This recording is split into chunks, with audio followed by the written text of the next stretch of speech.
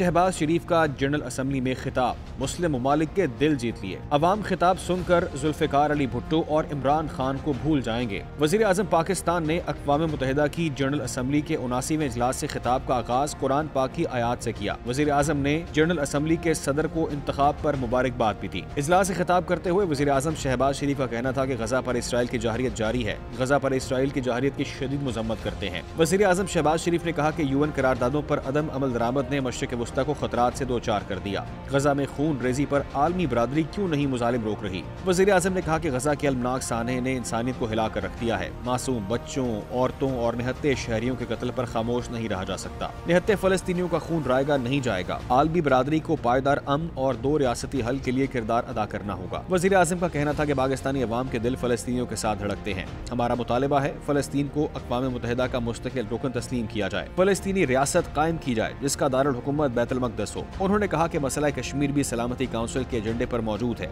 ये तय हुआ था, कश्मीरियों को हक खुद इरादियत दिया जाएगा। हमारा मुतालबा है, कश्मीरियों को हक खुद इरादियत दिया जाए। मकबूजा कश्मीर में भारत के हाथों इंसानी हकूक की खिलाफ वर्जियाँ जारी है। भारतीय जबर के बावजूद कश्मीरी बुरहान वानी के नज़रिए को आगे बढ़ा रहे हैं। वजी अजम पाकिस्तान का कहना था की भारत कश्मीर में गैर मकामी लोगों को आबाद कर रहा है। भारत के जारहाना अजाइम ऐसी खत्े के अम को खतरात है। पाकिस्तान किसी भी भारतीय जहरीत का मुँह तोड़ जवाब देगा।